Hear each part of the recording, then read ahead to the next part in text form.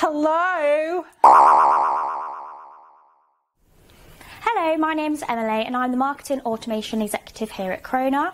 I plan and organise all of the marketing communications that come out from the company, so all of the emails, I manage the data for that. I've been here for three years now, so previously I was the seminar coordinator. So I plan seminars and webinars for Croner, so the HR and health and safety events that we do. And my fun fact is that I have taught myself and my dog to paddleboard this year.